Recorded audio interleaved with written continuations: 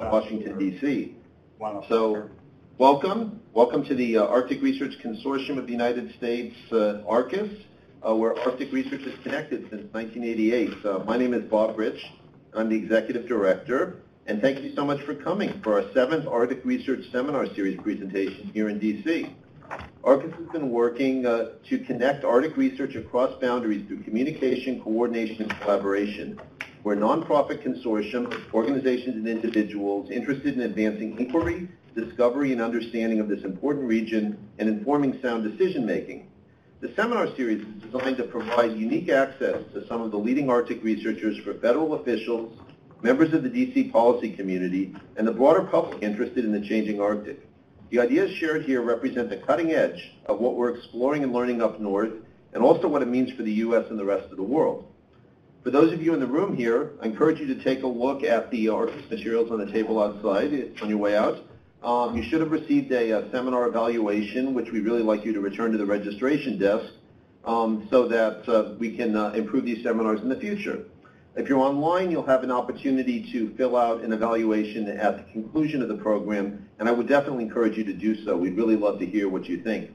For those of you on Twitter, we are encouraging you to use the hashtag uh, hashtag ARCUS webinar uh, down in the bottom right of your screen. Um, and please use that to discuss the event. And we're currently joined by, uh, I don't know, 60 it looks like, participants online uh, from all over. So thanks for coming. My uh, colleagues are available online to answer any questions that you might have about ARCUS or Arctic research and to forward us any questions you have for George here in D.C. So you'll have an opportunity to submit text questions throughout the entire webinar, so feel free um, and uh, type your questions in the chat pane, and we will uh, try to address them at the conclusion of George's presentation. Whether you're here or online, we would like to invite everybody to become a member of ARCUS. You're eligible. You and your organization are eligible, um, including uh, academic institutions, government agencies, corporations, and indigenous organizations. Uh, um, you can join at our website at www.arcus.org.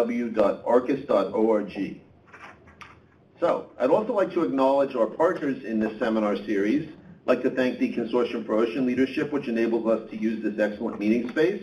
And thanks to the Polar Research Board at the National Academies of Sciences, uh, which is uh, assisting us with our uh, check-in on site here. And of course, I want to thank the National Science Foundation's Division of Polar Programs for major financial support to ARCUS and to supporting this seminar series. Now let me briefly introduce our speaker. Uh, George Divoky has uh, studied seabirds in the Arctic Alaska since 1970, and he's participated in studies and assessments related to oil and gas development and regional climate change. Since 1975, he's maintained a continuing study every year of black guillemots on Cooper Island, and, uh, which is off the coast of Alaska in the western Beaufort Sea. And this study is one of the longest longitudinal bird studies in the Arctic, and its findings have consequences for all sorts of environmental factors, which I'll let uh, George tell you about. I'm really delighted to, uh, to have George here speaking in this seminar series to tell us about, about the birds, but also about how the birds are making a difference in our world. So Without any uh, further ado, let me introduce George. His presentation today is entitled 40 Years of Change, A Seabird Response to Melting Arctic. Please join me in welcoming to the ARCUS DC Seminar Series, George Divoky.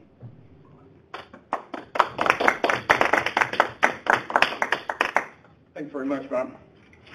Um, it is a real pleasure to be here uh, for a number of reasons, and it is true I've been a seabird biologist now for more than 40 years. Um, but I am talking about the Arctic today more than seabirds. Um, the, the, the number of people who care about the species I study, the black guillemot, there's probably six people in the world. uh, two of them don't like me, and I doubt the data for the other people. Uh, but the people who care about the Arctic and what we're seeing in the Arctic and the consequences uh, of what's going on there is very, very large, uh, and ultimately should involve the whole world because of the implications of what we're seeing. Um, I have been studying uh, black guillemots for 40 years um, uh, up, up in the Arctic, and actually I just finished my 42nd summer. And I'm going to be talking to you about uh, observations I've made off the tip of uh, Point Barrow, Alaska um, dur during that period of time. But my story actually starts here in Washington, D.C. In 1970, I was a pre-doctoral fellow at the Smithsonian Institution. And even though I lived in a cabin like this for the past now 15 years or so, uh, I was in the Museum of Natural History when the Coast Guard called and said, is there anyone who would like to go up to the Arctic on an icebreaker this summer? So I was 24 years old, and of course I said, sure. Um, which are, you, and you have to be careful what you say sure to when you're in your early 20s, as many know. And the reason that they wanted to go up there, uh, that they wanted to have a cruise, is that uh, Prudhoe Bay, uh, that there had been an oil find in Prudhoe Bay in 1968. Uh, this was going to change the whole energy structure of the U.S. But when they were going to build the Trans-Alaska Pipeline, uh, and uh, they, this was just a few months after, actually it was even prior in 69, prior to Earth Day happening, a whole range of environmental laws were coming in, and they realized we just can't build that as quickly as, as, as we thought. It's going to take some time, and various groups were stopping the building of that. So they said, let's see if we can take a super tanker to the Northwest Passage uh, to bring back oil. And the Coast Guard was very concerned about that, and they wanted to have a cruise there. A cruise is offshore because no one knew anything about the Beaufort Sea, which is the area uh, east of east of Point Barrow um, in the in, in the Arctic Ocean. So, so I was lucky enough to go on cruises, uh, the Western Beaufort Sea Ecological Cruises in 1972, or 1970 through to 72. And one of the things I did in 72 in the summer was see what birds were breeding on the barrier islands that are found on the north slope of Alaska. They're, they're, one, one doesn't have the classical rocky cliff that you have in the southern part of the state, uh, up in the Chukchi, uh, northern Chukchi and in the Beaufort Seas. You have these flat barrier islands but they are not bad places for surface nesting birds to breed. So I was taken into these islands by the Coast Guard helicopters uh, operating from the icebreaker, walked from one end of the island to the other, wrote down what was there, and it was great Lewis and Clark type natural history. It was saying, okay, no one's been here before. What's actually breeding on these islands? And there was things like Arctic terns uh, that use the use the wood for protection from the wind and also camouflage and things like that, or Sabines gulls. And I was writing down the the number of eggs, the number of nests, state, state of development. But then things changed when I went uh, to Cooper Island, which was uh, which is around 25 miles, around 30 kilometers uh, uh, east of Point Barrow, Alaska. And in 72, when I first went there, it was just another island among many islands. I had no idea I was about to start a very long-term relationship with this island. Um, and it, is also 25 miles uh, east of Barrow, Alaska. Now, in the past month, uh, the, the, the city of Barrow has changed its name from Barrow to the original Utqiagvik. Uh, some of my slides here may say Barrow. Uh, I have many friends in Barrow who have helped me run this study to a great extent because I, they have been able to take me out by boat and things like that. And the next thing they have to help me with is to show me how to pronounce Utqiagvik uh, correctly. But uh, Cooper Island, which was named by the British uh, when they uh, claimed it for the crown in, uh, in, the, in, the, in the 1800s, uh, or known as Igloolik, and that name may change too in the future, is a sand and gravel bar, uh, just like many, and I was dropped at one end. And what really surprised me is as I was walking down the island, I found a, a, a very large amount of cut wood and boxes and floorboards. And it turns out that the Navy had been out there in 1955, 56, and as was typical for the military leaving a site like that, all they did was just leave and blow things up because they had a bunch of ordnance. So they just blew things up. But there was all this trash on the island, um, which, you know, initially looks like an eyesore. But then I saw that, okay, there is a cavity nesting seabird, the black guillemot, that is right next to these to these uh, things that the Navy has left. And I turned over a box uh, in 1972 and found this pair of uh, guillemots breeding there. It was the first record for them breeding in the Beaufort Sea. And it was a real seabird. It was a, it's, a, it's, a, it's in the family with, with murres and puffins. And this was very exciting to me. It was, one, it was a range change, and it was also a very interesting use of kind of this, these things that had been left there. And guillemots are known to be very plastic in their, in their choice of uh, nest sites. Anything that has an overhead cover will do. And so I saw that on my first visit in, in, uh, in late June, early, early July. I turned over some boxes, and when I went back in August, found that Guillemots had adopted some of these sites that I had created. Now, so like I had actually, at the edge of the Arctic Ocean, created nest sites for a very interesting Arctic seabird, and it was a really, it was a, it was a very powerful hit that I'm still possibly operating off of. But for anyone who's ever put out a, a birdhouse or even a bird feeder, and then you get a connection with the birds that's different than it is when you're just walking through the woods and seeing them. I now had this connection that okay, this is what's going on. So, so that was um, that was how I first became introduced to Mandt's black guillemot, and I I use the subspecies name because it is uh, a high Arctic subspecies of a species that's found in Great Britain on the coast of Maine. This is a different uh, subspecies, as I'll tell you about in a minute. But what was really interesting about this ground colony is this is your typical black guillemot colony, and this is a nice, a very nice Scottish black guillemot colony. Birds would be breeding in places like uh, in, in, the in, in, the scree, and the talus, at the base of these cliffs, or maybe even up in um, in openings up in the up in the higher cliff areas. Whereas whereas my black guillemot study looked like this.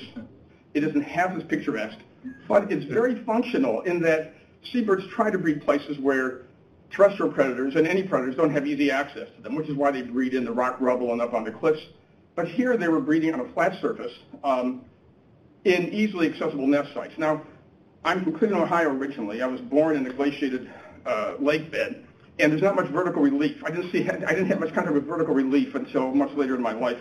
And I have friends who work in places like these cliffs and go over the edge on ropes and things like that. I tell my son we come from a long line of people who didn't go over the edge of cliffs unless we were forced to, uh, even though we were very, might be very curious about seabirds.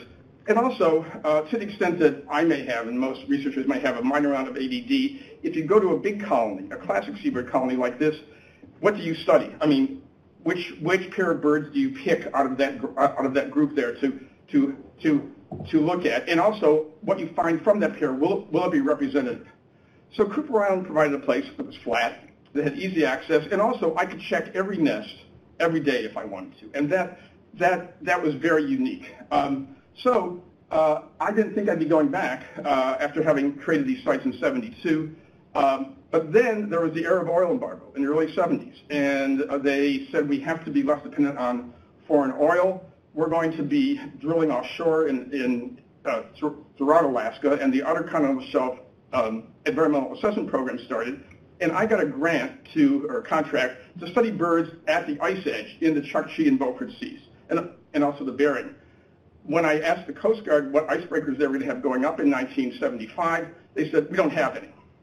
Um, so I said, okay. They said, well, isn't there something you can do? And I thought, well, you know, I've been to Cooper Island, and I know that the ice is just offshore, and I know that the ice is, is right also very close to shore, so I can go there for the summer and see what happens because I will be at the ice edge, even though the icebreaker couldn't take me to the ice edge. So we went out there and mainly studied a colony of terns, so 75 pairs of terns. But while we were there, we started building nest sites because we knew that guillemots would adopt them. And the guillemots uh, responded very rapidly uh, and got to, the, uh, got to form the largest black guillemot colony in the state of Alaska. So I was doing this at the time. There's nothing inherently good about having more black guillemots in the world. Uh, I was doing this so I could get a sample size that when I was studying all the things that you studied, such as age at first breeding, mate and site fidelity, breeding success, growth rates, hatching and fledging success, that I would have a sample size that would say something that was that was more than than the 10 pairs I found there in the in, in the 1970s. The other really nice thing about the guillemots is that you can catch them and hold them, and weigh them and measure them and band them. Um, they unlike many seabirds, which if you do this, they will go offshore and mope for the next two months because you violated their personal space. Uh, guillemots, if you toss them up in the air like this, frequently go right back to their nest site.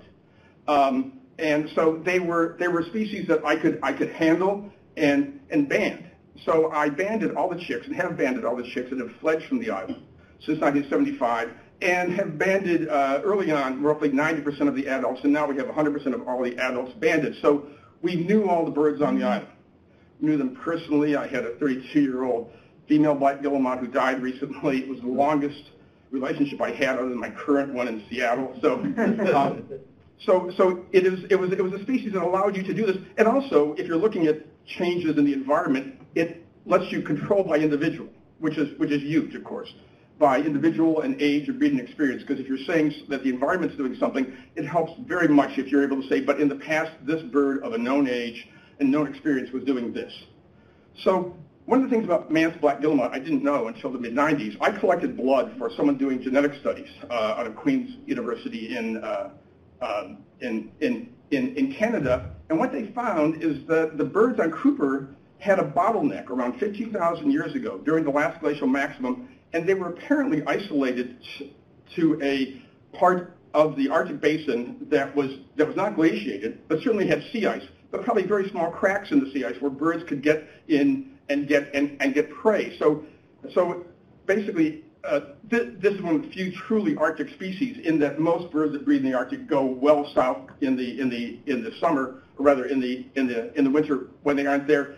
Guillemots were adapted 15,000 years ago to occupy this unglaciated area of the, of the, of the Arctic basin. And um, what that means is that they are essentially a Pleistocene relic. Uh, similar, similar to the woolly mammoth, adapted to an environment that existed during the last glacial maximum when, when, when, when ice and snow were king, and they're now having to cope with the fact that ice and snow are melting. And that's something we didn't know until um, actually almost, almost 20 years into the study. And it changed our whole view of it. Okay, yes, now we know what we're studying. Now we know what the, sub, what the species is or what the subspecies is. Now, if you're in the Arctic and having to feed there through small cracks in the ice, and you are a fish feeder, you have to feed on Arctic cod. There is a there is an ice-adapted system uh, that exists with zooplankton and Arctic cod right under the ice, and this is very important in the Arctic because unlike the subarctic where you get a great deal of mixing, um, you don't get the mixing, or typically up until recently, you, you, didn't get the mixing because the ice was forming a cap and stopping much of the wind mixing. Um, you also had, in nearshore waters, you had the ice scouring the nearshore so that the kelp and other things that you get uh, on the on on the bottom couldn't couldn't couldn't form, and all you really had was this ice-adapted uh, fish species, the Arctic cod, which also can be found at depth if the water is cold enough. And Arctic cod are found between minus 2C and plus 2C. That's the range they like. If it gets up higher than 4C, they uh, they don't they don't they don't they don't like it and they are found directly uh, in the ice. People who I've talked to who are divers say it's like a coral reef. You see them kind of hiding in places like this, and guillemots will go under the ice and pick these guys up. So um, one of the quotes I found, and I can't actually find a source of this, but I found this probably now, now almost 20 years ago when climate change was first coming in, is that species that have critical life history st uh, uh, stages, either constrained or dependent on snow and ice habitats will be among the first to be affected by increases in atmospheric temperature. And it's very straightforward why that happens. If you're here and you, if you're in, in the in, in eastern woods and you get a five degree change in temperature, it may not mean much. If you're in a place where it's 29 degrees and you have a five degree increase, then snow and ice start melting. So you get this rapid change in any species that was either constrained or dependent on that snow and ice is going to have problems. So like guillemot colonies in the western Arctic, um, there aren't uh, that many in Alaska, or at least at least there weren't. Um, and there's some, there's a, actually a good number. There's like tens of thousands over over in Russia, and they were all in places where you get summer ice. And we now know because we put geolocators on the birds on Cooper Island that after the birds stop breeding, they only go as far south as the ice goes. They, they, they actually just, they, they, don't, they don't migrate. They, don't have, they have a facultative migration and that they're forced south by the ice formation, but it's not like basically every other species in the Arctic that heads south in late August, early September because they're going to go someplace else. So birds are hanging out in, in, the, in the Arctic basin until late October, early November. The ice forms, and by late winter, they're down at the Bering Sea ice edge, but they are at the ice all the time, and they are moving around with the ice. So they are uh, clearly, uh, based on even our, our, our, observations and also obviously a great deal that's been done historically, and ice-adapted species. And this shows the sort of place that they would be uh, wintering in, basically the Bering Sea ice front, um, where they can roost on the ice. We found out it's very important for them to roost. They roost for five hours a day on the ice. That's, that's actually a big part of why they want to uh, be in the ice. Uh, and then they can feed under the ice on the various prey that's there. So the world uh, prior to my study beginning was not a warming world. Uh, it was it was barely warming. Uh, this, this, is for the 25 years before I started the study in 1975. Um, since then, from 75 to 2015, it has things things things have been warming, which means ice ice is melting. More importantly, in terms of my location, being very close to Barrow, where there's good uh, weather data, is that Barrow all summer long straddles zero Celsius or 32 Fahrenheit and it can, it can freeze any day, or it can, it can melt any day. It can snow any day in Barrow. So in that sort of situation, any sort of warming is going to mean that, that, that the days above freezing are going to be much higher, and that will cause major changes. Um, and of course, these are all things I couldn't have possibly anticipated when I first started studying guillemots up there. But the mean temperature changes in Barrow have been significant. Um, um, during the rough period of my study from 77 to 2015, there's been a 5.1 uh, Fahrenheit increase. Um, and what's important to note is that overall, from the 1945 records, which is when things start, to 2015, there's, a three, there's been a 3.2 Celsius change, which is more than, the, than what everyone is fearing might happen to the world. I mean, we're, you know, we're not talking about can, can, can, 2, can 2C be safe. Uh, we're saying this is what we're seeing with 3.2. Uh, and it is one of the most rapidly uh, warming areas uh, in the world and also ha happens to be dominated by snow and ice habitats. So I, uh, looking at the average monthly temperature in Barrow, things were pretty stable until I started the study. Uh, but you can see what's happened since then in terms in terms of the warming. It's been a, it's been a steady warming since then, and luckily there are two very good sources. Actually, there's three, but the two primary ones are the National Weather Service uh, station in Barrow, which has operated uh, since 1949 at a certain level, and some records go back to the earliest part of the century, and a NOAA climate monitoring lab, which is, which is monitoring um, a wide range of things and getting very good information on temperature, snow, and various things like that. So I'm able to have those data sets to tie into my natural history data set, if you like, in terms of how these, how these, how these birds are doing. So when, when, when birds get to Cooper Island in, uh, in March and April, uh, the island is snow covered and, and the offshore area is, is ice covered. Um, in early June, things started to open up a little bit. And we didn't know in 1984, because we were told by pilots that the island was open all winter long. We didn't know when we went out there in 1984 to see the arrival of the guillemots that the island would be as snow-covered as it was. Uh, we had trouble finding the island to land on it. We then set up our camp here. I had two field assistants with me, and it was only when this started to be clear that this was the south edge of the island, and we were out in Elson Lagoon, uh, and I had to go back and say, we have to move the camp. We're not on the island. Uh, it just, it was clear why, why the birds don't, don't come back any, any, any earlier than, than, than, than, than we did.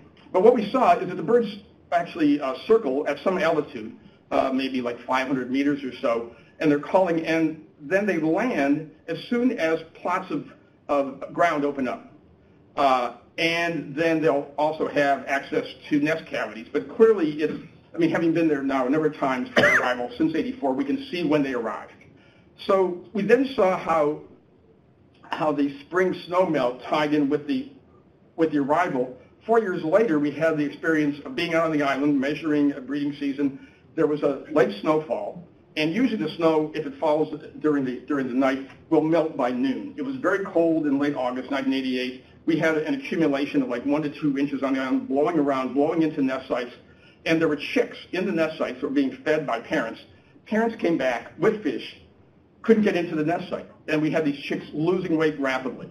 Uh, luckily, there was a there was a melt finally, but but we could see the results of saying, okay, well, this, this is what happens if your summer is too short. And in terms of being too short for a guillemot, um, females don't ovulate until they get into a dark cavity, so eggs are laid 14 days after they can actually get into the cavity. Eggs are incubated for 31 days, and then the chicks grow uh, over a 35-day period. They have a tenfold increase in mass. So it takes them 80 days, a minimum of 80 days to raise young. Uh, so they need a snow-free cavity for 80 days. Um, once we found that out, we looked at the at the Weather Service records for Barrow from the period that the winter snow melted and when the guillemots would arrive on the island, to a period of one inch, uh, to, the, to the time of one inch of snow accumulation in the fall, and plotted that for the, for the, for, for the entire record. And what's clear is that prior to the late 1960s, it was too short of a summer to accommodate them. Um, and, uh, and the first breeding record for northern Alaska was in 1968 in the Chukchi Sea, just when this summer window was opening, when, this, when the snow-free window was opening, I found the Island colony in 72, totally unaware that this was just the first part of a climate change thing that was going on. And then we were lucky. uh, as such. To have this one year that said, okay, we're going to have less than 80 days. This is what happens when you have less than 80 days. And we, we could see what happens to, to chicks and nestlings when, when the parents aren't able to, to feed them uh, because of late snow, snowfall accumulation. So um, one of the things that I'm taken with, I, I've obviously been very taken with the bird uh, with the bird data, but this graph by itself makes me realize that when I first went to the Arctic in the in the in the 1970s, that maybe you had on average a 90-day summer in terms of the snow-free period. It's now close to 120, which means that summer is now one month longer than it was when I first got there. Um, and it has, and actually, this this year may break break the record because it still hasn't had snow in yet. So so finding all that out, which of course took time in order to see what was going on with with the with the with the snowmelt, was the first real climate change uh, thing that we realized what was going on. And what what happened as a result of that melt is that is that you now have um, uh, guillemots breeding in ground level nests on the on the north slope of Alaska and over into Canada in places where they didn't breed prior to the late 1960s. So it seems like the range expansion to the north was a climate change um, uh, uh, message. Now, ha having seen that birds come to the island when the snow melts, and then they lay their eggs right up against the winter. This is this is this is this is winter snow that it, that has drifted into a nest site birds get in there even prior to having the winter snow melt in the nest site and lay their eggs as early as possible for and for those reasons that I showed you because they have to get that get get that early start. And we've been able to uh, look at the date of the first egg in the colony um, over the past 43 years or 42 years, and you can see what's happened. Um, is that is that the date uh, used to be that it was the it was the third week uh, in June uh, when they were uh, when the when the when the first egg was coming in. Now it's very getting it's getting very close to the first week in June. So we've seen this advancement, um, which is obviously part of that window opening up. But it turns out that, that this this ties into a wide range of, of snow measures up there that you're very surprised about. Um, if you look at the first egg in the colony, and if you look at Barrow snowmelt uh, that's gathered at the at the at the NOAA lab, they are highly correlated. Um, Bob Stone and Diane Stanitski, who are with NOAA and who, who work with that lab, um, have found a correlation of the first egg and some of the barrow of 0.78, um, which is striking. I mean, to, to have any sort of biological response be that closely tied to a physical one is really surprising. But, and I, it, it's just recently that I've realized this is why it happens, is that essentially their snowmelt that they are measuring is an albedo sensor that's looking down from a tower like this to see when things are no longer white uh, below there. And I realized when I've been on the island and the guillemots are circling, all they're doing is looking down and landing when things are, are no longer white. So like they are being flying albedo sensors um, that tie in very closely to what to what is being found there. So so this was again striking and and I mean, we have a very nice collaboration. We're going to be coming out with some, with some, with some papers on this because it's a nice combination of a very nice long-term data set in Barrow and my Cooper Island observations. Um, but what happened last year, and I, uh, actually what happened this past spring, which was a bit much, is that the date of snow disappearance at Barrow broke the x-axis. And I mean, I, am sure many of you know about Dennis Pauly's shifting baseline and things like this. I, I think that basically people shouldn't accommodate climate change by changing where their, where their x-axis hits the y-axis, just so future generations can see, oh my gosh, that's where things used to be.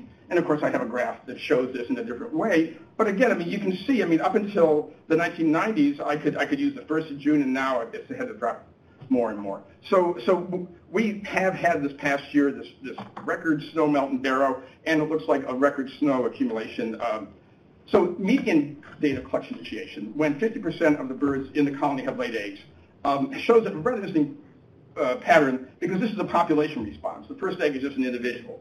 And you can see here how there is this kind of tight group there and then a switch in 1990 and then a quarter century of things being rather stable. And this summer when I was writing a blog post, I was writing, and then for the next quarter century, and as I did, I realized, wait a minute, that is a subset of, of your data. You just said quarter century, not as, oh, by the way, I studied this for a quarter century. They don't know, this is what happened for that quarter century.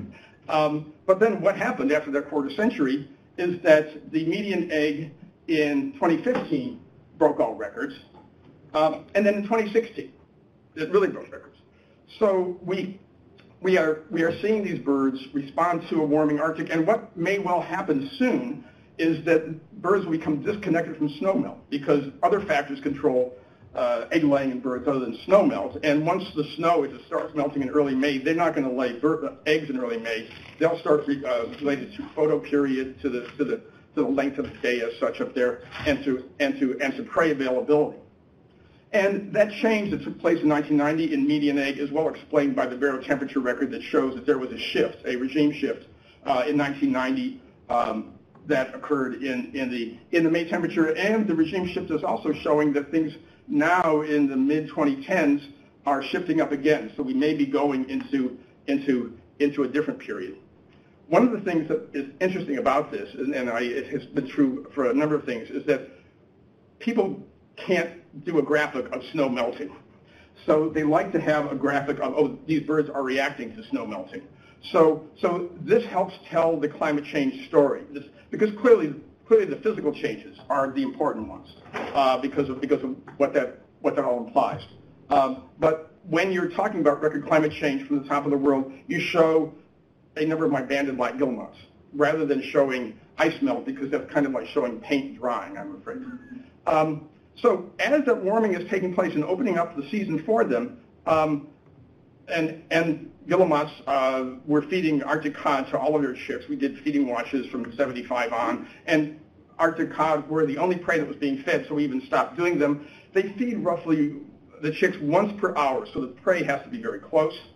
And there's a, they don't go out very far like many seabirds. They'll feed within, I mean, if they can, they'll feed within five miles or even five kilometers of, of the of the colony, and probably 20 miles is about as far out as they would as, as they would go, given the fact that they have to feed the chick once an hour. And Cooper uh, Island is surrounded by ice when the birds first arrive. Uh, when, when the chicks are hatching in mid-July, it has some ice on the north side. But by late August, it's always been ice-free. Um, I mean, the ice may be offshore some distance, but but there hasn't been any any any ice around it. So you have an ice-adapted species that is living in a place where its primary habitat is disappearing during the breeding season, which is the most uh, energetically intense period of the year for them. They are feeding two chicks, they're feeding for themselves.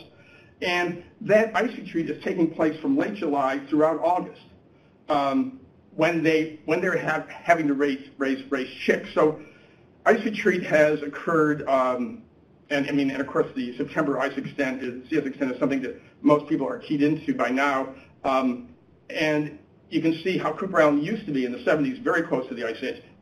Now it is some distance. And throughout the whole basin, you've had this sort of decrease from uh, roughly, from like over 7 million uh, square kilometers of ice down to 4, four to 5 uh, million in recent years. And again, my study happens to contain this period of major ice loss. If you look at the ice concentrations at Barrow, uh, it's somewhat the same story. Um, things were pretty good uh, for the first part of the study. Um, that, that, this is just north of Barrow. Uh, you get 20 to 60% ice on a regular basis. But since the turn of the century, it has been frequently ice-free. And also, the sea surface temperature has increased uh, since the turn of the 20th century. So, so, so, so, so the distance um, distance of the ice, um, and, and, the, and the SST have changed uh, rather recently. So what that means is that Arctic cod drop out at around uh, 4 degrees uh, Celsius. So starting in 2003, we started seeing them bring, bring back uh, alternate prey. The primary alternate prey they can find is the four-horned sculpin. Um, it is a, uh, it has a rather high caloric value, but parents don't like to carry them. Chicks don't like to swallow them. That's why all of those uh, sculpin have been uh, rejected in this, in, this, in this nest site. And it's because they have these spines, which chicks have a tough time swallowing. And also, if they do swallow one, it takes them a long time to digest a very bony head, whereas cod go in just like sardines would. I mean, there's essentially nothing to it. They can, they like pass right through. Um, I have two videos online if you go to YouTube, and there's links from my website showing parent birds trying to feed sculpin to chicks and then having the chicks not be able to eat them, and, and, and in one case eating it, but looking like the python that ate the pig. It's like, okay, I have this in my mouth, now what do I do?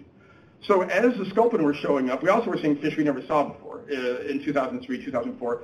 Snailfish, a nearshore demersal fish, a bottom fish, and wolffish. Um, that parents, parent, parent, parents were bringing back. This bird, um, this bird happens to have a temperature depth recorder that we use to see how frequently the birds are diving and just how deep they're going. So as the ice has been retreating, there's more open air, uh, water to um, absorb solar radiation. So, so, so, the sea surface temperature has increased greatly um, in northern Alaska and certainly off of, off, off of Cooper Island. And what clearly happened is that we went from an Arctic cod period prior to 2003 to a sculpin and other demersal period so that uh, things, things are not at all the same as they were for the first 27 years of the study or so. And once we realized there was this annual shift going on, we thought, okay, if we look and see what is being fed on a daily basis, get some you know, assessment of the percentage of cod, and percentage of sculpin, um, and, and, can, and can take a look at that. We did that in three years. One was a very heavy ice year, 2006. One was a moderate year. And then we had 2011, which basically had the ice offshore at, at the 1st of August. And 2006, the heavy ice year, was dominated by Arctic cod, with a few sculpin coming in. Um, um, in 2007, there was a gradual decrease, and there was a very good correlation of distance to the ice with the percentage of Arctic cod over this period. So at the end of the breeding season, it was mainly sculpin. But then in 2011, when the ice really pulled offshore, birds went to uh, sculpin on, on, on the 6th of August, and we didn't see a cod after the 6th of August, which was, again, unprecedented, because that was the primary prey for the, for the for the previous, at that time, um, um, 30, 35 years or so. So what this means to guillemots that are feeding on the island, this is what the north side of the island used to look like. Uh, and they could go out and find all sorts of cod there to feed their young. Uh, breeding success was very high. And this was, this was true for around 28 years of the study. Now with the ice pulling offshore and you're getting more fetch that the, uh, getting more open area that the that winds can operate on open water on, um, this is what it looks like on the north side. And again, those that that that change for an ice-adapted species to say, okay, where do I even feed in this? I mean, where do I go? Because they certainly were using the ice as a cue, saying, okay, I can dive under this ice and probably find something. They don't even really know. I mean, they are having to deal with with this with this issue. And one of the things we're studying is how various individuals uh, do that because we have individual histories, as I said. So as a result of the prey not being as available, we have seen the we have seen the alpha chick, the older chick, beat up on the beta chick. This is a this is an adult, or this is a uh, this is an alpha chick that has uh, just been fed, as you can see in the throat. This is a beta chick that hasn't been fed in a while and is driven to the back of the nest site by its sibling. And this is brood reduction. It happens in lots of birds a lot. It's a way of dealing with a prey um, availability that may not be uh, standard. And the alpha chick will grab the beta chick on the back of the head and cause a sort of chafing. And we're seeing that on a regular basis. Now, one year, all of the beta chicks died because food was so unavailable. And then after that, many of the alpha chicks died. So we had a publication that came out last year uh, that, that summarized some of this information about the, about, about, the distance to the ice, looking at growth rates, uh, fledgling weights, number of chicks starved. And for the first decade of the study, it was Arctic cod and chicks could, uh, birds could raise two nestlings. For the past, um, for, for the most recent decade at that time, it was mainly sculpin, and nestlings were frequently dying. And again, you can see the, the, uh, you can see the temperature going from 0.1 C, which is great Arctic cod uh, uh, temperature, to 3.4 C, which is, uh, and that increase in temperature probably is the big thing. One of the interesting things we are seeing, though, is that certain birds are going for sculpin, and certain birds are still finding cod. So being able to see that, uh, so you can look at resilience and adaptation and various things like that, um, will be very interesting to see how they how they cope with a melting Arctic. And what's happening now is that we saw this past year, uh, we saw we saw capelin coming in. We hadn't seen capelin. Uh, and, and, we're seeing capelin and sandlance. They're both subarctic forage fish. So they may be moving north, and that might be the thing that happens to this colony is that it shifts over to a real forage fish because because sculpin are not really good forage fish to raise, honest. So seeing all that, um, um, horn, horn puffins um, are very common in the Bering Sea, but they're a subarctic species. They don't take off easily from uh, from from even from open water, and being deep in the pack ice, they could they could be in a situation where they where they where they wouldn't take off. Nor are they under ice feeders, so they need large prey populations and a lot of open water. And now the now the Arctic is apparently uh, offering some of that. They bred uh, historically as far north as Cape Lisburne in Alaska, but they colonized the Cooper Island colony in 1986. Um, and uh, this is because of the, of, the, of the sea ice extent going as far north as it was, and puffins were suddenly thinking, oh, this isn't really the Arctic anymore, it's the subarctic, so we can now breed there. They are not as handsome as black guillemots or, or charismatic, but, but, um, but they are, they were an interesting addition, and I thought the whole colony was going to go horn puffin. I mean, that seemed to be the way things were going. Uh, puffin were going into nest sites, pushing out eggs, killing chicks, and in this case, breeding directly next to a black guillemot uh, nest uh, un under the same wooden structure. And it's a nice, if you're an ornithologist, it's a nice comparison of nest building techniques for the two species. Um, but what happened with them is the polar bear predation, because puffins are have a 45-day nestling period, they are there until mid to late September. They were very unsuccessful in terms of bringing off young because of the fact that polar bears were coming in. I'll get to that in a minute. So that, so that now puffin are not as common as they were uh, in the in the in the late 1980s and 1990s. So the big thing that happened on the island was in 2002. Uh, the ice looked like this just uh, in early August. And one of the things that's interesting about this picture is that sea ice isn't meant to look like this. Sea ice is should be large, many kilometers, maybe tens, hundreds of kilometers long. This is all tiny pieces that are so so so small they can be moved around by currents and wind which means that it's not great for a number of things. It's not great if you're a predator walking around looking for seals on it. That ice all blew offshore. We saw the first bear that we'd seen up close in 28 years uh, on 18 August 2002. The only shotgun on the island is in this tent right here. so I, I and my two field assistants had a short course in dealing with polar bears over the next uh, five, six days until we were rescued by search and rescue because we had a bear we couldn't back down that took over our campsite. Um, but these are the sites that we had out there from uh, 1975 to 2011. But unfortunately, the bears um, uh, that were starting to visit the island after, after 2002 realized that they uh, were stuck on this island. There wasn't much to eat, but there were these birds under these boards. So they started flipping them over and eating these, eat, eating these birds. And these are chicks we, were, we had been raising, we've been, we've been weighing up until then. We're going to see, okay, we get fledging success. And then you get these bears coming in and essentially eating all of your study animals, uh, which as certain friends might say, gee, well, that's really an interesting climate change thing. You say, not if you're studying birds, it is. you know, um, and so, so we saw this uh, more and more. Um, and one thing I realized after the first thing that happened in 2002 was that I couldn't live in a tent anymore uh, because you can't see bears coming, and also bears can just rip that very easily. So I, got, I, I took a cabin out in 2003. It's a, a, I also have a much better pantry than I had uh, back then. So it is a secure place that I can sleep at night and hope that bears don't come in. And I had a camera set up in 2008 at one of the nest sites and, uh, at a, and, and happened to catch this bear poking around the back of the cabin. So it's like, okay, so maybe we need a little bit more than that because I could have just opened the door and encountered that bear. So we now have an electric fence.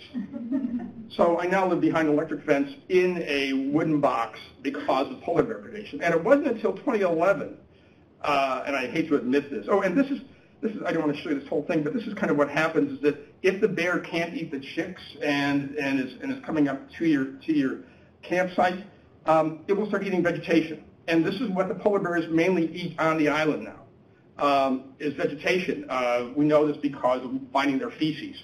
Um, there is nothing else to eat. Um, it is very sad when you see a mother, a, a, a female bear, a sow with young, and she's, and she's lactating, and she's meant to be eating seal blubber, and, she's, and she is eating vegetation like this. This is a young male who, who, who may well have made it through that period uh, on the island, but certainly young cubs that are there with their mothers uh, almost certainly don't. But in 2009, uh, we had 184 guillemots hatch.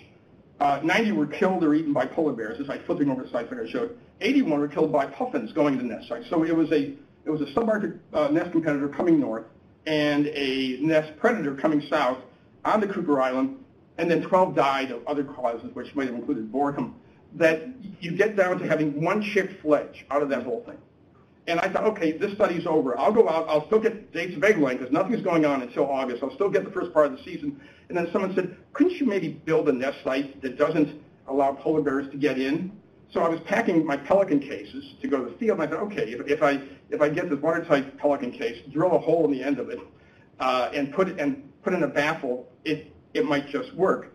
And so in 2010, we uh, rather uh, yeah, in 2010 we then tried this. Now this bear had just eaten a whole bunch of other chicks, and it was sure it could it could get in there because it had just gone to a number of wooden sites, but it couldn't get into this plastic case. So we wanted to keep studying black guillemots because they were the canary in the coal mine. And we wanted to know when things got really bad in the coal mine. And now, now the bears can't get in. Uh, because, and, and, and, they, and they just also just walk right by. And we've also put out puffin cases too, because we didn't want them to feel left out. We have larger cases for the puffins. But, um, but uh, basically now, now, now, now the whole island um, has 200 nest cases on it, 200 black nest cases. So when you fly over, it looks like a Samsonite luggage truck exploded on it somewhere. So as all that was going on and, and the population grew, um, one of the things that happened is that I stopped building nest sites in, uh, in the late uh, 80s uh, because I was out there by my own, on, on, my own. I couldn't handle more than 200 nest sites, and Ronald Reagan had cut my funding. So, so like I then said, I said, okay, we're, we're, we're going to stop at 200. Uh, and the Guillemots didn't know I was stopping at 200, so they kept coming in looking. So like this, this shows uh, a pair at one, one of the wooden sites there. This is a pair that owns this log, which is not a nest site. This is a pair, this is a beta pair that is playing that, that site and also one to the right. And this is, a, this is another beta pair. So there were, there were like all these non-breeders that were coming in uh, during that period. I mean, there were like more Guillemots in the world than I could even accommodate at Cooper at, at that point. But then it, after 1990, as part of that warming I showed you when the, when the median egg date changed, things started to go downhill. Now, we are analyzing the data with some very good French uh, demographic people right now to actually see what the main causes were um, for, this, for this decline. Having a decrease in immigration seems to be part of it. Um, Herald Island, which is a large colony of probably 20,000 uh, black guillemots with thousand-foot cliffs, uh, due west of Cooper is probably the source for most of the birds that have come into Cooper. Um, and, and, and it turns out it is having the same problems with ice concentration as Cooper Island has. That basically it, it is no longer a great place to be a black guillemot trying, trying, trying to raise young. So that they're not producing enough young to throw off immigrants that can then come to Cooper. And immigration played a large role in being able to maintain that. So even though I'm studying the birds on just this one island, it looks like in terms of the, at least the Western Arctic basin, um, there, is, there has been a basin-wide shift from what was happening in the 1980s when birds were right up against the ice to currently when black guillemots don't really have the ice to work with. So again, this is a rough uh, thing. We'll have a much better view in a few months about what's going on here. But you can see how the downward population trend to, to, to currently 100 pairs, down from 200, uh, parallels the, the, the, ice decrease over that, over, over that same time period. And this is the picture of the uh, of the uh, of this, this is the aerial shot. You, you can barely see uh, in some of these that you have little black cases here because now everyone is breeding in one of those black cases.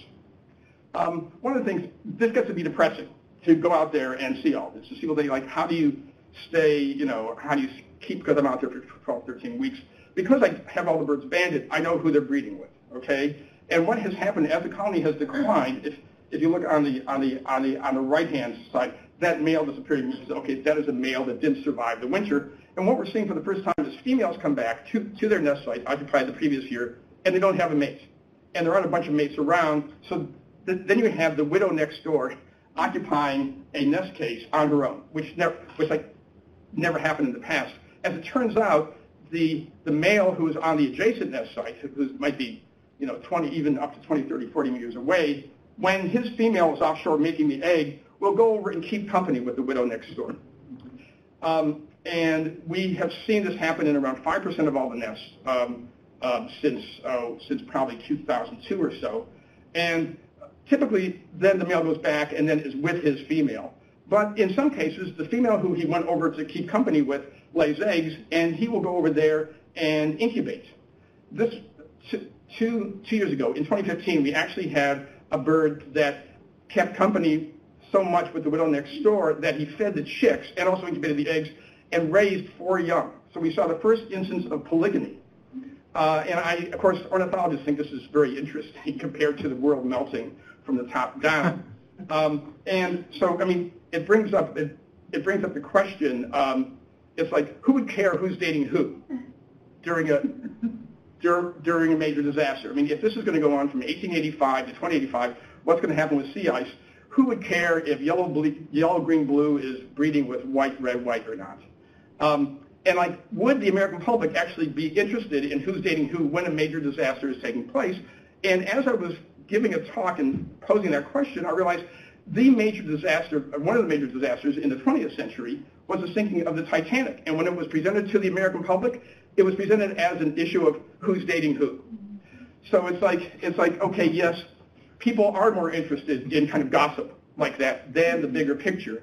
Uh, but again, when I'm out there on the island alone and I'm able to track these individuals like that, uh, it really sustains me. So there are some other warming effects. We had a major storm in 2000 with 85 mile per hour winds, uh, which very uncommon uh, winds up there that caused one third of all like the chicks to starve because no one was flying in the temperature.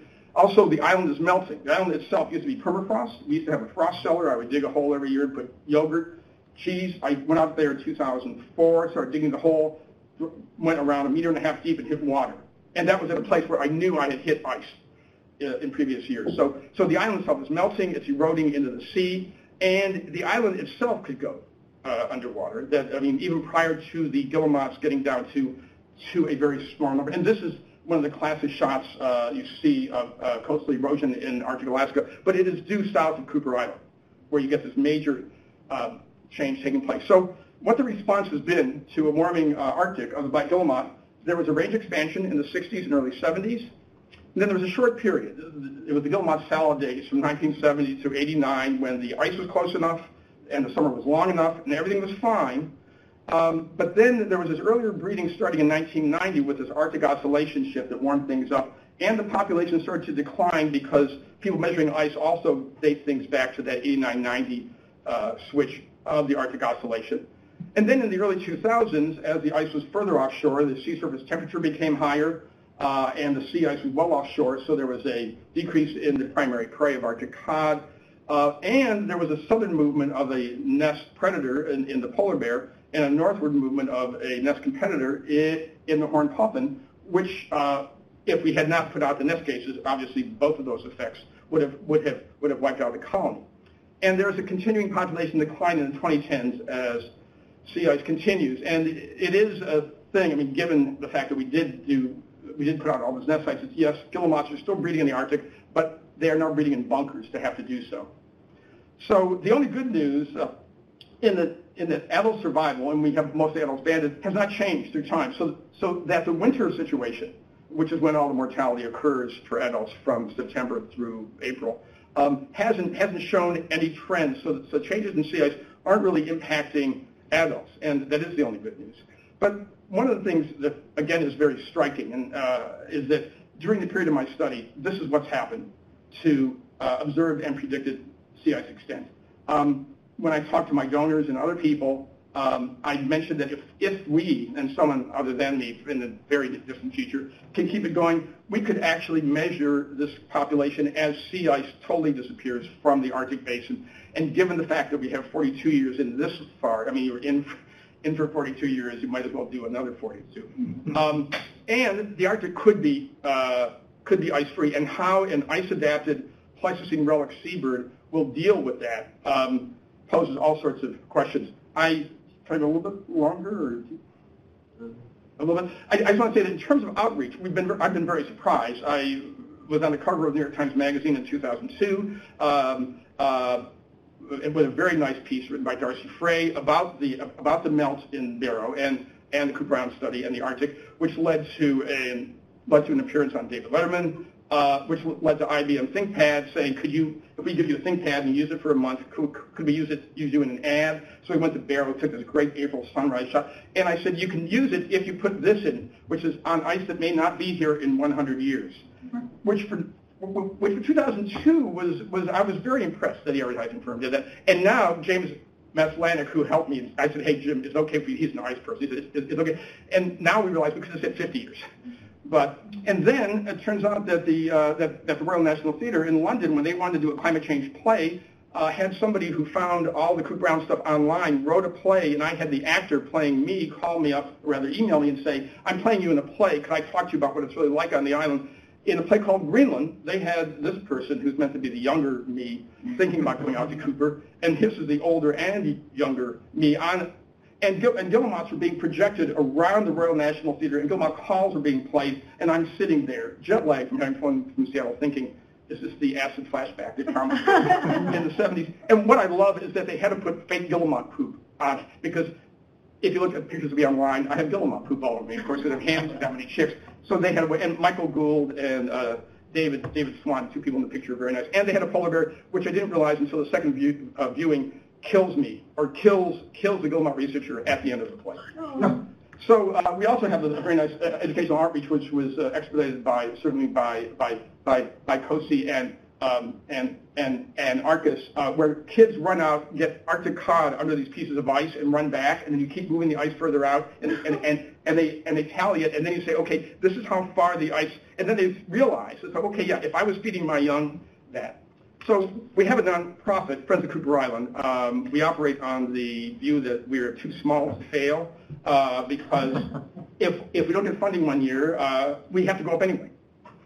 So um, uh, and and keeping a 42 years uh, study going, you have to keep costs at minimum. I'm hoping that we're going to be able to do a great deal in the next eight years because we want to hit 50 years. In the next eight years in the Arctic, Room are going to be critical, and we are looking to expand our outreach and collaboration. Anyone who happens to see this or is interested in that, please contact me because we need we need friends because we want to keep it going. Uh, we want to keep it going, and my board keeps saying, "What if you get hit by a truck tomorrow?" Mm-hmm. They're not concerned about the polar bears. it's, like, it's the truck. So in the middle of that, just in the, most, in the, well, in the past two weeks, somebody found a major oil discovery um, 40 miles east of Cooper Island. So this is the reason why you can't uh, stop the study now. Uh, uh, fossil fuels first took me up there because of the because of the Prudhoe Bay thing. Uh, fossil fuels got me back because of the Outer Continental Shelf. Um, fossil fuel emissions kept, kept me going for the past 20 years because of the warming. And now uh, fossil fuel exploitation may again be a major role in terms of in terms of what's going on. So the take-home message is that the Western Arctic went from being too cold to being too warm to support ground nesting by guillemots in 50 years. And the subtext is that I happen to be there for that whole period. So. Um, and I'd like to thank the Inupiat people in Barrow who have who have made this all possible. Uh, because I to Barrow, and I'm a suburban guy from Cleveland, and they they they are amazed nothing's happened to me out there. But their support, um, their moral and, and other support has just been incredibly important. And I realize they are living in the Arctic. They are the they they are dealing with, with all these changes, and it isn't some abstract thing where a Guillemot colony that someone created is being impacted. They are living in a town that's been there for a very very long time and having these having these real changes take place. So uh, I'd like to thank uh, the North Slope Borough Wildlife Management Department that helps greatly, the residents of Barrow, um, and the contributors to Friends of Cooper Island. Thank you.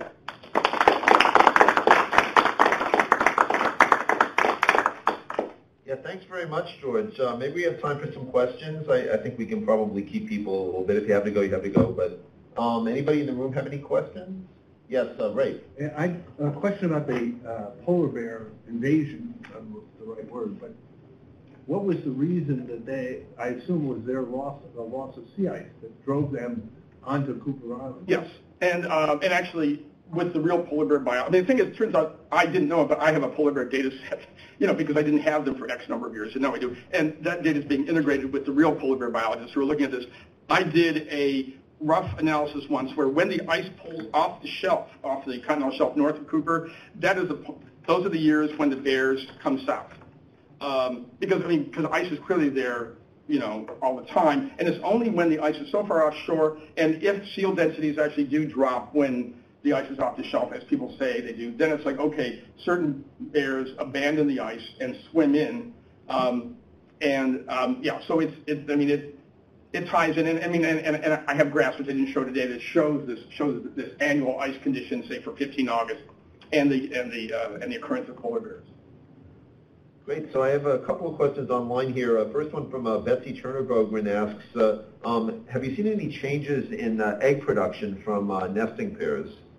Um, no. I mean, one of the downsides of guillemots is that unlike most most seabirds only lay one egg. Um, uh, guillemots lay two, but they almost always lay two. And there's been no change yet to drop down to one. And that is basically because when the female's forming the egg um, in early June, the ice is right there, and there's a great deal of Arctic cod. So there's no major uh, stressor that would have her say, I can't lay a two-egg clutch this year. I have to go with one. And people have seen in pigeon guillemots uh, on the coast of Oregon during uh, severe El, El, El Nino years that females will drop down to one egg. Uh, but we, we've seen nothing yet. But again, things will have to get very bad to have prey in June and, and July uh, affect anything. Uh, a question from uh, Astrid Surmatz uh, asks about, uh, do you remove the nesting cases after the season or do you leave them there? No, we, uh, we leave them there uh, for a number of reasons. We don't know when we'll be able to get out if something were to happen. In the past, we would always go out by snow machine. Now, with the ice melting, we have a tougher time getting out there. So no, we leave them there. We, we, we, we, we clean them up at the end of the season and make sure everything's okay, but no, they're there all year. Question in the room? Yeah. George, sorry, I, I may have missed at the beginning, but other than where you created these nesting cavities, what are the nesting structures or cavities that the birds are using elsewhere in the Arctic? Oh, well, down in Cape Lisburne, the closest colony, or at Herald Island, it's uh, rock rubble at the base of a cliff, scree, talus, various things. But they are so plastic that they will find, I mean, any sort of, even in a, in a high cliff, if there's an opening there that they can get into, they will, they will, they, they will be there. They're, they're, they're very much, and, and, and the genus is known to be a terminal species. They breed under docks up and down the west coast. Uh, pigeon, pigeon, pigeon guillemots do. Uh, black guillemots in Great Britain and Scotland breed under docks, things like that. Anything that has a cover on it. So, I'm sorry, so just as a follow-up. So, as the ice is melting, there is potential for more nesting habitat, but then, and, and I guess I'm asking this question, is there more potential for more nesting habitat in other places, but then you, you get the interplay that there would be foraging habitat in, in those? Well, I mean, the Canadian Arctic, because it goes so high and has so many good coastlines, and it would be an excellent place to examine that, but no one is censusing um, or, any other seabird there on a regular basis. I would assume, I mean, one of the problems with Barrow, Alaska is that it's Barrow and then the North Pole. Uh, I mean, it's a problem, but that's just how it is. Uh, so there is no further place north you can go. But I would assume that in Canada, uh, birds are being able to move north in in the places that used to be either too snow covered or even too icy to support breeding, and they can breed there for a while. Um, but you know, it, this is kind of the same thing, I suppose, with the last ice with the polar bear. They have the one area that's just west of the Canadian archipelago. They think where polar bears may persist. That could be where black guillemots persist, though they're so adaptable that they also could basically, you know, I mean, we're, we are having a selection event go on. Is that they is that they will become a subarctic seabird. So um, you, you, mentioned a lot about the people living in Barrow, and the question I have here is, uh, uh, were the local people um, interested in this research, and do you have a lot of uh, dialogue with them about the things that you're finding out? Uh, yes, they are very interested, and they uh, and I have a great deal of dialogue. Uh, certainly with the North Slope Borough Wildlife Management Department, that that that helps me out in in many many ways. But even, I mean, one of the things that happened is that when the Outer Continental Shelf funding ended in 1981, because of Ronald Reagan, um, I went back in 82 because I had birds that were six years old that I had banded as chicks. I thought I have to look at them because they're six, you know, I didn't realize I'd be keeping with them until they were 30. And when I got there, uh, and people, people have told me this in town, is that they realized I wasn't there just because NSF or somebody else was funding research. I liked the Arctic. I was connected to the Arctic, and I wanted to come back. And that meant a huge amount to them because they had seen so many people for years come in, use it as a laboratory, and it's basically, okay, we're here, we're going to get our research, and then we're going to go back. And, and no, I, it, was, it was both a connection with, certainly with the data, with the Arctic, and with the people. Great, great, yeah. At Washburn EPA.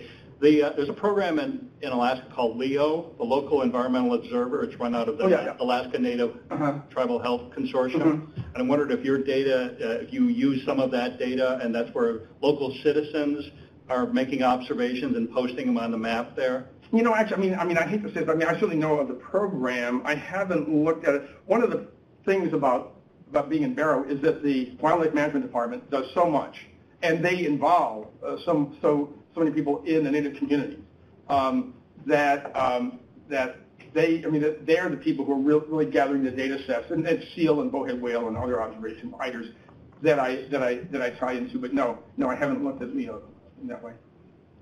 Okay, maybe one last question. Does anybody have online in the room now? Yeah.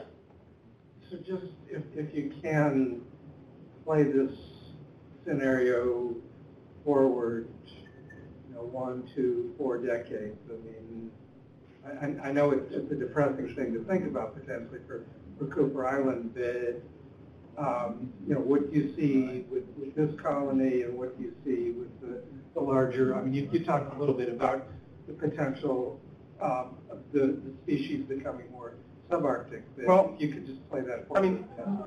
Last summer, we had a big storm surge that covered half of the island. All of the boxes that I found there originally in 55 were the place that was on high ground, high ground being two meters above sea level. So, so that, so that none of the nests, or very, very, very few of the nest sites were impacted. But all it would take is the ice to be well well offshore with this, with this north side of the island eroding the way it is. Um, and then if it starts, I mean, that could happen next year. I mean, we actually had to buy, we didn't have to, but we bought um, full-body survival suits because we realized we're in this cabin, but we and we don't think it's going to go underwater, but it could. Um, and and I, I mean, what I was thinking about, having been at the Smithsonian in 1970, I thought, what if someone were to come in when I was there in 1970 and had spent 40 years in the Arctic and was talking to me about things from 1930 to the present?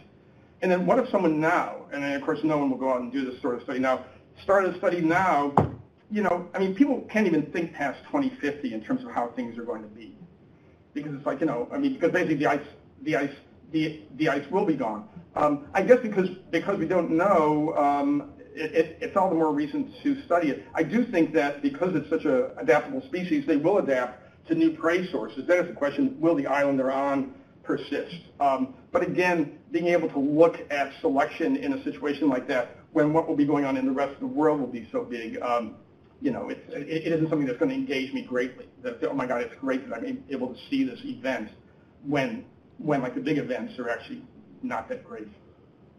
Okay, well, thank you very much for a wonderful portrait of what's going on.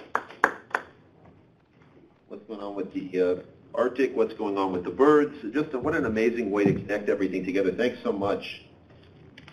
So I just wanted to conclude with a couple of quick remarks about upcoming events. Um, please note that these uh, seminars are recorded and you're uh, welcome to view them on our website. Um, again, we'd invite you all to become members of ARCUS uh, individually and with your organizations, and there's a link to do that. Um, invite everyone who might be going to the American Geophysical Union meeting in San Francisco in December to come to the Arctic Community Reception, and uh, we're also having our annual meeting of, uh, of members, and anybody who wants to can attend that.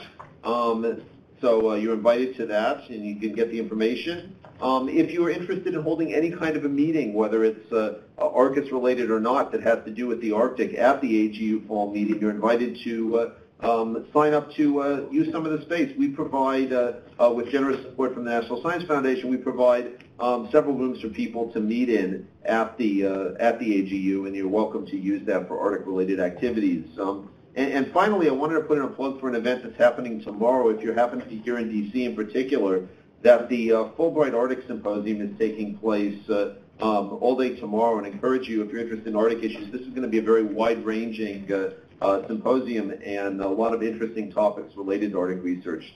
And uh, again, thank you so much for coming out for today's uh, seminar, and um, look forward to uh, talking with you all next time. Thanks.